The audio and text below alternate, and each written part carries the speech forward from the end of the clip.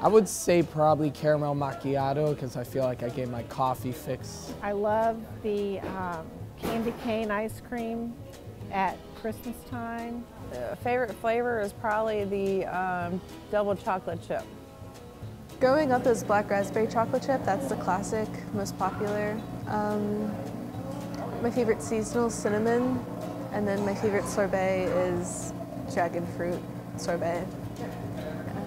But I also love the bourbon pecan and, and the uh, toffee is probably some of my favorites. A chocolate guy. Black cherry chip, that's probably my number one. Cotito chip and then s'mores, and I rotate between them all. But I'm really partial to the chocolate malts. There's probably not much that I don't like.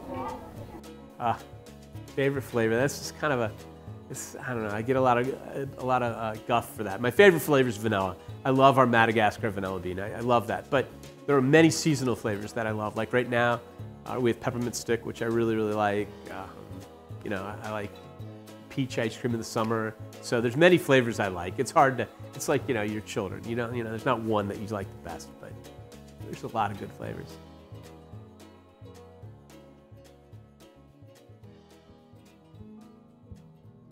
My name is Chip Graeter. I'm part of the fourth generation of Graeter's families to uh, help run the Graeter's ice cream business. Um, well, it's kind of a long history, but the short and sweet answer is uh, we you know, we're a small family business really that um, started in, in the late 1870s, early 1870s, and, and uh, with my great grandfather, he came over from Indiana. His parents had immigrated from Germany, and uh, he came to Cincinnati because he was didn't like living on the farm, and so he came to, to Cincinnati to kind of strike out on his own. And so uh, he made ice cream um, downtown and, and, and uh, sold it, made it every day and sold it on a cart, out of a cart. And, uh, you know, and he was pretty successful at it and his business continued to grow. He was just a hardworking entrepreneur. And uh, so he saw success and so he slowly started to grow. Um, we, he, he, he, married and uh, him, him and his wife uh, continued to grow the business. Um, he unfortunately was killed and uh, his wife was named Regina, and she um, took took over the business. So we have a lot to uh, to be thankful for to her because uh, a woman of the 1920s and 19 teens was um, a pretty a pretty amazing thing for a woman of that era to be able to run a business. And so she pretty much ran the business. Uh, she was known as the boss, and uh, she uh, really had had a great um, you know ability to see the, the growth of the business. She uh, expanded the business, our stores. She opened up a lot of stores. She bought our, our first factory in 1933 in Mount Auburn. And uh, she continued to run the business and, and, and develop the, the ice cream business and candy business. In the late 50s, they brought in bakery. And so today you have a, an ice cream, candy, and bakery uh, company that uh, started really um, a, a woman is really the person that we look to as somebody that really helped propel us to where we are today. I'd say we pride ourselves on being a, a family-run business that, that looks to not just our family, but the families of, of our workers, and, and they're part of our family. And I think really we pride ourselves on being a, a family for um, the, the, citizens of Cincinnati. I think we, we look upon that very seriously and, and take pride in the fact that you know, we've been around a long time and uh, we continue to make a product, our ice cream. Uh, we make it the same way we made it 150 years ago. All of our pints are packed by hand. Um, so I, would say that attention to detail and that attention to the time-honored tradition of how we make it is what makes Graeter's special. Um, the way we make our chocolate chips is, is is special. We pour liquid chocolate into, into the ice cream once it's almost frozen and, and creates these big chocolate chips that people love. Um, so, you know, I think those are some of the things that make, make Graeter's special. My name is Tiffany Barber. Um, my role at Graeter's is I work in the retail training department. Our customer service is not hard at all. They come in happy because it's ice cream and candy and bakery. So, you know, having that aspect of it, it's it's, it's easy, it's second nature. So my whole goal when people walk in here, I try to prefer to make it not really seem like a transaction, but more of an experience. So what I like to do is when people walk in, I like to be very welcoming. I like to kind of show them around, let them know we don't just have ice cream, we have bakery, we have ice cream cakes, we have a bunch of cookies, candy. And we just want to make them feel like it's more of an experience that they enjoy being here and coming back to. It's not just a one and done type of thing yes, we have ice cream. Yes, it's the best ice cream I've ever had. I want to make sure they know that, but I also want to make sure that they can understand that it's so much more than just the ice cream. There's so much effort that's put into making all of it, and it's just something they should really want to experience. Graeter's doesn't have anything in our stores that anybody has to have. It's absolute, absolute luxury. It's a, it's a treat. And so we want to make sure that folks, when they do come in, that they're greeted and they're happy about being there and they leave being content with a great product, and they leave with a smile. That's really what we want. You make them feel appreciated. Um, you have that real good connection with them as soon as they walk into the door to the moment they walk in to the moment they leave. So you're being with them the whole time, you're connecting with them, you know, um, and you're just being real. It's always going to be about that one-on-one -on -one that matters. Even when you're busy, each customer still has value regardless of what they're getting. One thing that I actually really speaks like measures to me is the Cones for the Cure. I'm the co-founder of The Cure Starts Now, and I'm a dad. Uh, the Cure Starts Now started when we lost our daughter Elena to a type of cancer called DIPG.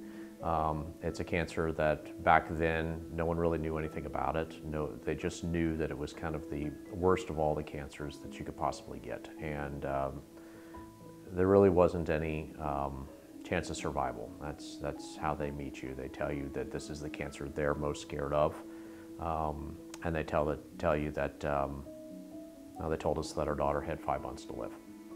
Um, when that happened, uh, we you know, my wife and I um, wanted to effectively preserve as much of our, our oldest Elena uh, for our youngest daughter at that time, Grace. And Grace was only three, Elena was only six.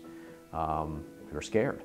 And so what we set out to do was we set out to record uh, her memories and effectively the um, um,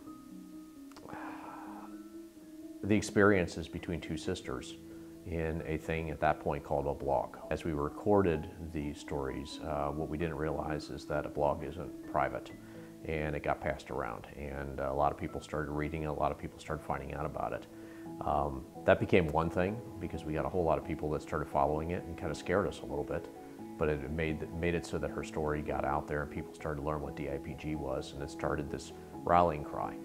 But what also happened there was uh, midway through it, we started talking to doctors and they said that this was the cancer when they were in college that they wanted to study, that they wanted to learn more about.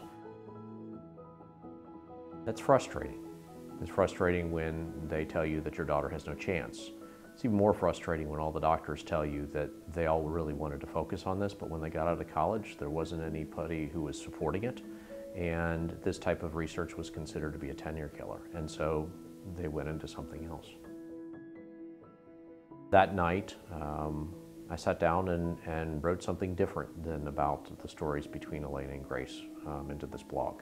Um, not knowing anybody was reading it, I wrote about how we were curing cancer wrong, how we were focusing on cancer by those that affect the greatest number of people rather than those that we can learn the most from. And um, we wrote in that journal, and the last words of that journal were the words, the cure starts now. Um, didn't figure anybody was reading it. Figured that, you know, it was me just venting. And uh, what happened was folks started reading it around the country and uh, they started to support a cause that I guess we named called The Cure Starts Now. That was kind of how we started thinking about whether we did it. Now, when we found that there was nobody focusing on this and when we felt that we really could have an impact, and that's, that's, a, that's a scary proposition in and of itself. Um, that's when we decided to start the charity. And the first thing that we decided after starting the charity is, okay, well, what are we going to do? You know, what type of fundraiser are we going to do? Because apparently we needed to come up with money at that point to fund all this trial. So the first thing that we did was we said we need to have an event, and we decided to have a gala. And in that, we knew that we needed to have a sponsor. And so we reached out to the Graeter's family and said, would you guys be willing? Um, and I don't think it was even sponsorship. I think I was a little scared to ask just for a sponsorship. I was asking them if they would allow somebody to make their own flavor of Graeter's ice cream. And um, they came back and said, yeah, we'll let somebody go ahead and, and create their own flavor of, of ice cream. And that's what we did at our first gala. We auctioned off the chance for somebody to make their own flavor of Graeter's ice cream, which is kind of cool. You know, that, that's, that's absolutely fantastic. Now, once you say, yes, I want to start my own make my own flavor ice cream, the next question is, well, what flavor are we going to create? And that got batted around for a bit, and they decided to come up with this flavor called Elena Blueberry Pie Ice Cream, and kind of took off from there. When uh, Elena's Blueberry Pie Ice Cream was first created by the Grodicke family and, and Graeter's had it out there, the idea was we were just going to serve it to their family. And so um, it was supposed to be just kind of this one night, you know, bring your, your, your, your uh, close family and, and maybe a couple of friends and invade a store and eat this one batch that they had made.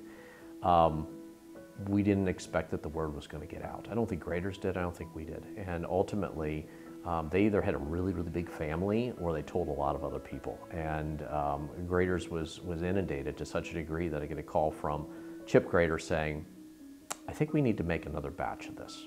And so they made another batch of it, and he assured me that this was going to be enough for the family, all was going to be good. But then they started getting calls to the stores saying, Well, do you have some of it? We want to try it. And ultimately, it just kept getting bigger. And from store to store to store, we had people that, that were, I mean, there was, I was hearing stories about people who were saying, Can I come to the store? I'm bringing a Tupperware, and I just want to fill it with this ice cream, you know, so I can put it in my freezer. And so ultimately, Graeter's family called me up and said, all right, I think we got to make this an actual flavor. And we're going to bring it back every single year. And we're going to call the thing Cones for the Cure and uh, just make an event out of it. And um, it's, you know, you get an opportunity to raise money for cancer research and you got to run a 5K. Or you get an opportunity to raise money for cancer research and you got to do telethons.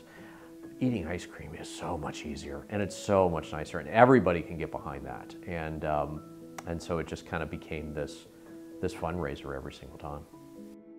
Graeter's works with the Cure Starts Now Foundation. Um, I used to run stores for four years with Graeter's. I was a store manager. And um, back in 2011 when I started, uh, they we were doing a fundraiser for Cones for the Cure, which we still do today. Um, but I, I personally truly love um, cancer foundations and kids cancer foundations and cancer's really touched my family. So when I heard that Graeter's raises money for pediatric brain cancer research, and I was like, yeah, of course, that makes a lot of sense. So as a store manager, I was really passionate about it. I got my team passionate about it. Um, and for every year that I was in a store, my store raised the most money because we were gung ho.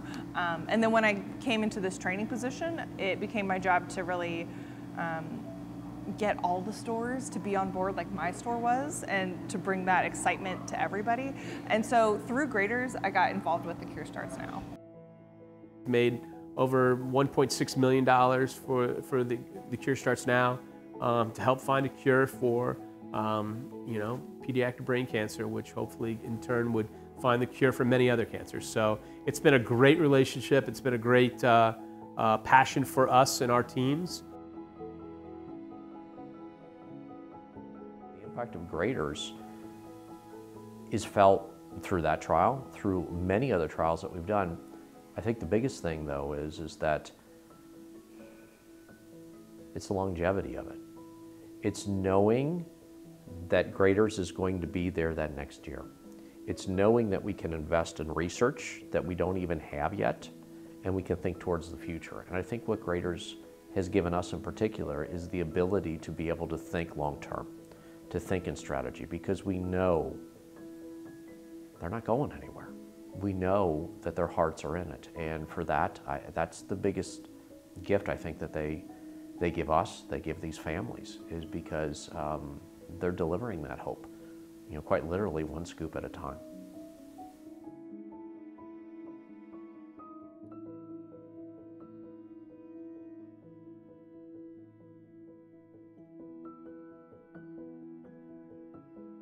Granddaughter, my first-born granddaughter, um,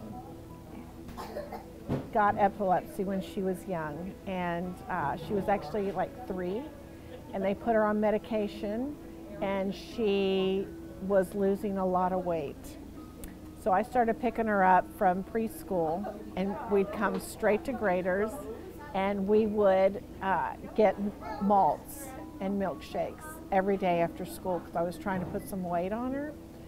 And to keep her from getting bored, we would make up flavors, and Graeter's was nice enough to allow us to make crazy malts here. so it was it was fun. We would have candy cane malts and chocolate peanut butter banana malts, and we would just come up with all kinds of different flavors to keep it. So a big part of it for us is that Graeter's is kosher certified. Now, ice cream is kosher certified. It's very inclusive for the Jewish community, and we appreciate that that it's kosher certified as well as being one of the best tasty ice cream. Uh, what I would say to somebody who has not been to Graeter's before, and I've done this plenty of times with family coming in, town. Um, it's just the favorite, my favorite ice cream in the area, the greater Cincinnati, and they need to have more in other areas. It's kind of like a community institution, which has gotten to the point from an operations level that they're able to consistently produce some of the best product around. And they really do care about other people, not just so much the business. They have a great business and they're just expanding and doing great, but the people part of it is so important to them. And I think that's why we're still here for so long. Obviously, since 1870, uh, it's not just going to be the ice cream. There's ice cream everywhere, but Graeter's just does other things beyond that with the philanthropy and everything like that. It's really cool.